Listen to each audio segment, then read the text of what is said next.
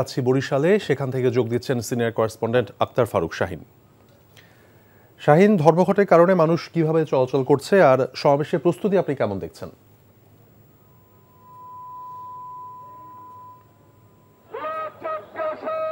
তৌফিক গত দু তিন দিন ধরে বরিশালে যে উত্তাপ উত্তেজনা ছিল সেটি আজকে কিন্তু অনেকাংশেই হ্রাস পেয়েছে। আর ধর্মঘট এবং গণপরিবহন বন্ধের কারণে বিএনপির এই গণসমাবেশে লোক সমাগম হওয়ার যে একটা আশঙ্কা ছিল, সেটি কিন্তু এরই মধ্যে অতিক্রম করে ফেলেছে বিএনপি। এখানকার বিএনপি নেতাকর্মীরা বলছেন যে তাদের গণসমাবেশ ছিল পাঁচই নভেম্বর, কিন্তু তারা গণসমাবেশ শুরু করে দিয়েছেন গত তেসরা নভেম্বর থেকে। এবং আপনি আপনাকে দেখাচ্ছি এই মাঠের সর্বশেষ পরিস্থিতি।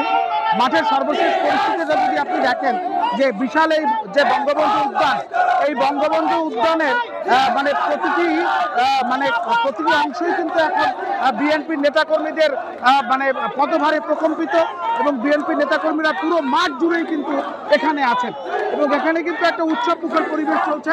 যারা এখানে আছেন, তারা এখানে থাকছেন, ঘুমোচ্ছেন রান্না বান্না করছেন, নামাজ পড়ছেন, সবকিছু মিলিয়ে এখানে এমন একটা পরিবেশ সৃষ্টি হয়েছে যে বিএনপি নেতাকর্মীরা তারা তাদের যে উচ্ছ্বাস এবং এই গণসমাবেশে আসতে পারার যে আনন্দ, সেটি তারা নানাভাবে প্রকাশ করছেন।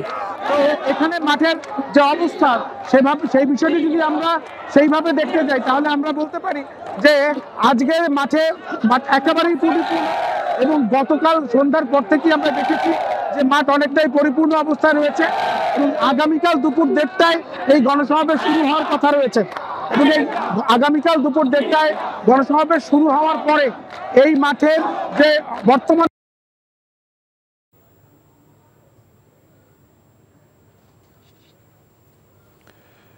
জানছিলাম বরিশালে পরিবহন ধর্মঘট এবং বিএনপির গণসমাবেশের প্রস্তুতির খবর।